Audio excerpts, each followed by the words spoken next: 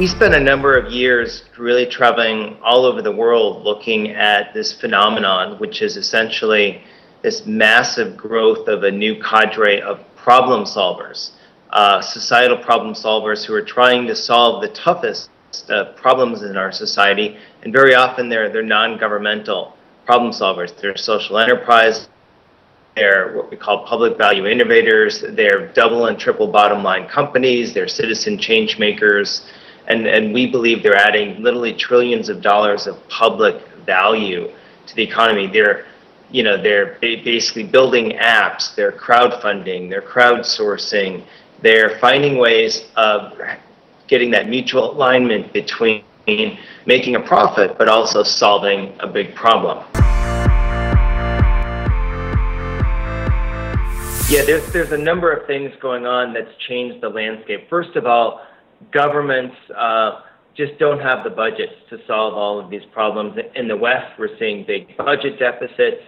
And in emerging markets, essentially, if you look at something like in India, to get up to the spending on healthcare spending on GDP that government spends in per capita in Canada that would take 70 years, and India doesn't have 70 years. So you basically, government can't do it alone. People generally understand that. Citizen demands are, and expectations are going up dramatically, and so you have this you have this gap that's increasing. You have um, a big movement among companies to look beyond the bottom line, to look beyond shareholder value, to look at what their social impact is, their environmental impact, because it's simply not rational to only look at shareholder value. And then you have this, you know, this generation of millennials um, who basically very, very clear that they they want to do something beyond just making money and that they want to have a purpose and a social mission. I I've spoken to 4,000 business school students in the last four months. 85% of them say they want to go into social innovation something to deal with social purpose, that would have been unprecedented just a decade ago.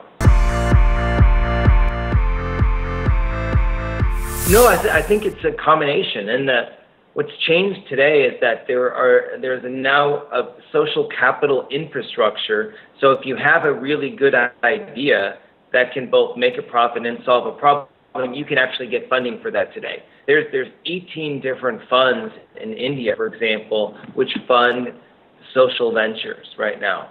That's that's really amazing. Hundreds of millions of dollars, billions of dollars are going into India in this area. Overall, uh, we saw that impact investing is now, you know, in the tens of billions of dollars in terms of an industry. A billion dollars last year went into education startups from venture capitalists.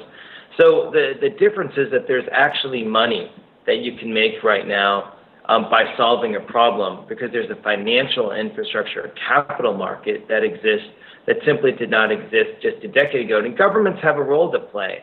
Um, you've got governments doing things like in the UK, the Big Society Capital Fund, which is a 600 million pound fund to invest in social enterprises. In India, you have the India's Inclusive Innovation Fund, which is just starting up, which is a billion dollar fund and they just announced in Canada uh, one province, the province of Alberta, a billion dollar fund in this. So you do have capital now going in, which makes a big difference because you can actually um, earn a living while also solving a societal problem.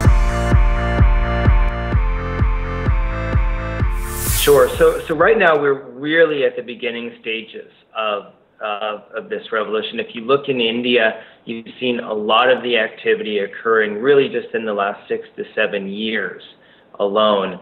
Um, and places like East Africa, you know, earlier than that. And, and so you have the most mature markets right now, I, I think, in probably the US and the UK in terms of the social infrastructure. Certainly within emerging markets, India has the most mature market for these sort of ventures right now.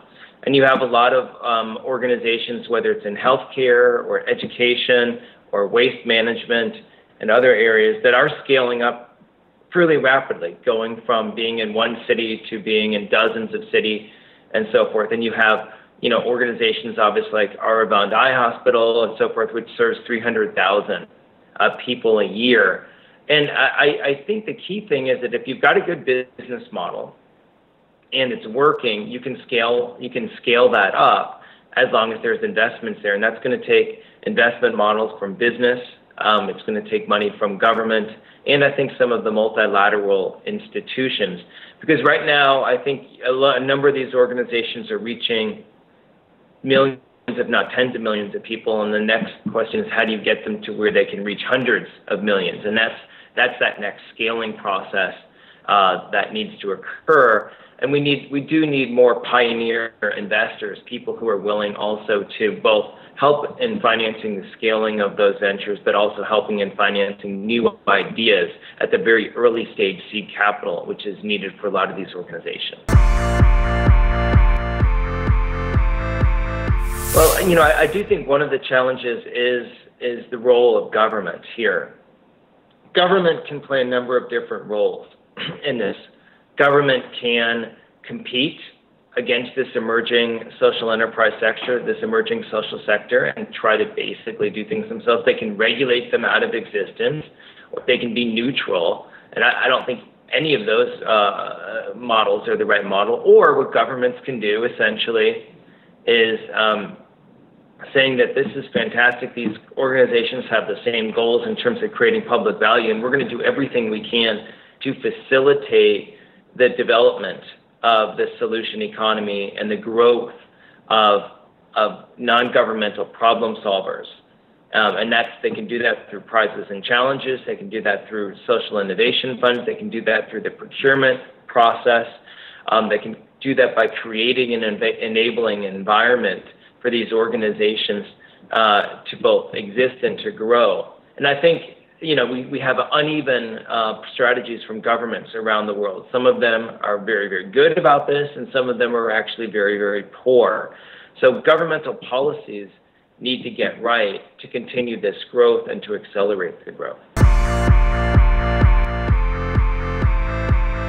Yeah, you know, it's interesting. Uh, this is my eighth book right now.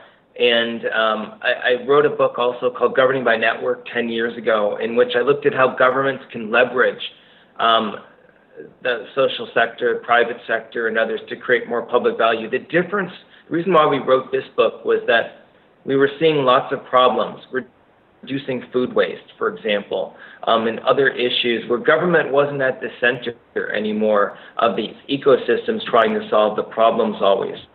So it's, it's a very different role for government. It's not a lesser role, but what it is is it's a different role. Government becomes the solution recruiter or the enabler as opposed to the doer themselves. And government's always not, not always going to be the integrator. If you look at some of the most successful models in India over the last 10 years in this area, whether it's healthcare, education, waste management, uh, water, and other areas, you have actually entrepreneurial organizations who are at the center of building these ecosystems, organizations like Husk Power and others. And then at some point, governments can play a role in terms of helping them to build that through financing and so forth. But that's a big change that you could have these organizations developing the integrate in ecosystems around creating public value themselves. And it's a really, really great development, I think, for society in general.